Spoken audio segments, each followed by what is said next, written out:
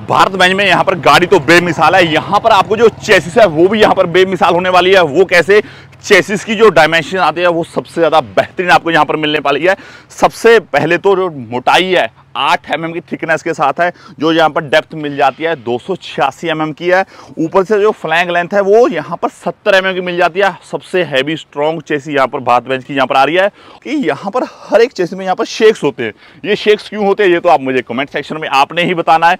और साथ में इस गाड़ी के चेसिस में ना एक सबसे ज़्यादा खूबी वाली बात है, वो है इसका एंटी रोल बार आगे भी मिलता है और पीछे मिलता है। गाड़ी पलट नहीं सकती, चाहे जितना मर्ज़ी हाई एंड टर्न आ जाए, गाड़ी का जो ड्राइवर है इतना ज़्यादा कॉन्फिडेंट हो जाता है, जो आपका माल पीछे रखा हुआ है डेक में वो भी यहाँ पर सिक्योर रहता है। सेफ्टी में ये गाड़ी फाइव स्टार रेटिंग आपको माल को देती है। यहीं पर बात कर लेते हैं हम डेक लेंथ की। अट्ठाईस फीट तीस फीट बत्तीस फीट तक आप यहाँ पर अपने माल के हिसाब से गाड़ी परचेज कर सकते